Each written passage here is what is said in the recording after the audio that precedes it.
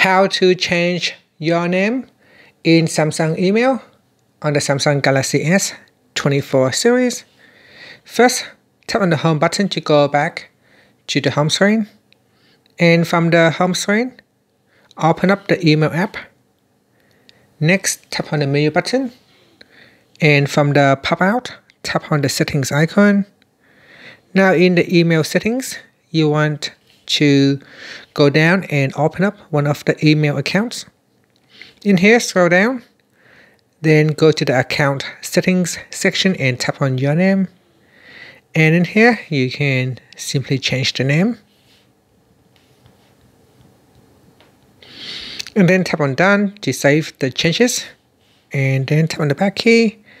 And that's it. So when you compose a new email, it should display the correct name. And that's it. Now you can go ahead and compose a new email. Thank you for watching this video. Please like and subscribe to my channel for more videos.